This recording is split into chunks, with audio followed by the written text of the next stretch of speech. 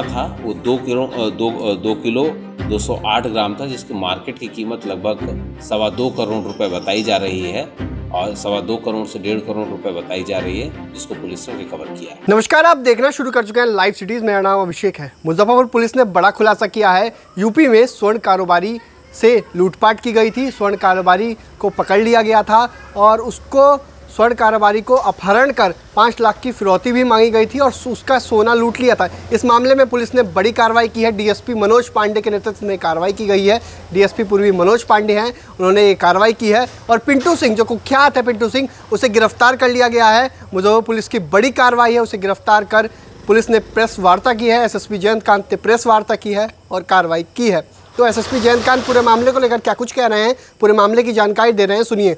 मुजफ्फरपुर के मीनापुर पानापुर थाना क्षेत्र में पुलिस को इन्फॉर्मेशन मिली कि वर्धमान डिस्ट्रिक्ट वेस्ट बंगाल से एक स्वर्ण व्यवसायी जो कि गोरखपुर के रहने वाले हैं, उनके एक कर्मचारी को वहाँ से किडनैप किया गया और किडनैप करने के बाद में उसको, उसके साथ उसके साथ में लाया गया उसका जो सामान था, जो ज्वेलरी थी उसको लूट लिया गया और इसके बाद में उसको किडनैपिंग के लिए रैंसम की रैंसम की रकम ले करके उसको मीनापुर थानापुर मीनापुर पानापुर थाना क्षेत्र में छोड़ दिया गया।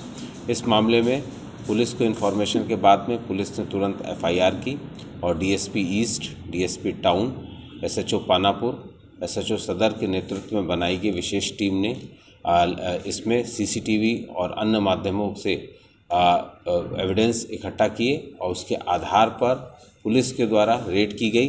रेड में एक व्यक्ति जो कि जय गुरुदेव बस कंपनी का मालिक बताया जाता है उसको अरेस्ट किया गया और जब इससे पूछताछ की गई तो इसने अपराध में स्वयं की और अपने अन्य पाँच साथियों की संलिप्तता स्वीकार की है और इसके पास से लूट का और रैंसम मनी का लूट का दो किलो 208 ग्राम आ, सोना और इसके अलावा पाँच लाख रुपए रैंसम के भी बरामद हुए हैं।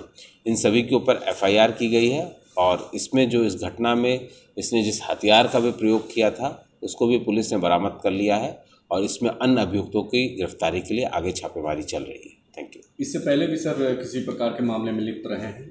आ, इससे पहले भी ये आ, कई अन्य मामलों में रहे हैं। इनकी क्रिमिनल हिस्ट्री भी है। और इनसे पूछताछ चल रही है। अभी ये जय गुरुदेव बस की एजेंसी चलाते हैं, जो कि डिफरेंट स्टेट में पैसेंजर्स को लाने ले जाने का काम करती है।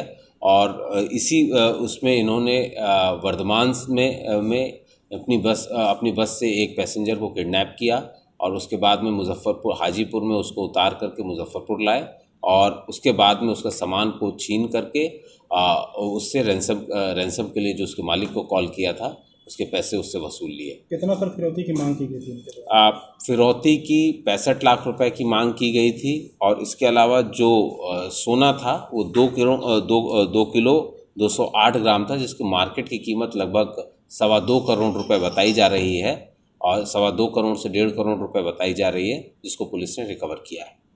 सर तो ये इस तरह का जो है पहले भी हरकत किए हैं? क्या इस आ, इससे पहले जो पूछताछ हुई है इससे पहले ये मर्डर के केसेस में और दूसरे तो आपने सुना कि एसएसपी जयंत कांत ने क्या कुछ कहा है? उन्होंने पूरी जानकारी दी है। आपको बता दें कि इस पूरे प्रकरण में स्वर्ण कारोबारी का अपहरण कर लिया गया था। उसके साथ लूटपाट की गई थी और पाँच लाख की फिरौती मांगी गई थी जिसके बाद पुलिस ने ये कार्रवाई की है। फिरौती की रकम भी पुलिस ने बरामद कर लिया है। साथ ही साथ दो किलो से अधिक का सोना भी बरामद किया गया है और एक राइफल बरामद हुई है, गोलियाँ बरामद हुई है और पूरे पुलिस पूरी मामले को लेकर जाँच में जुटी हुई है और कार्रवाई में जुटी हुई है। तो बने रहिए लाइव सीडीज़ के साथ। हमारे यूट्यूब चैनल को सब्सक्राइब करिए फेसबुक पेज को लाइक करिए।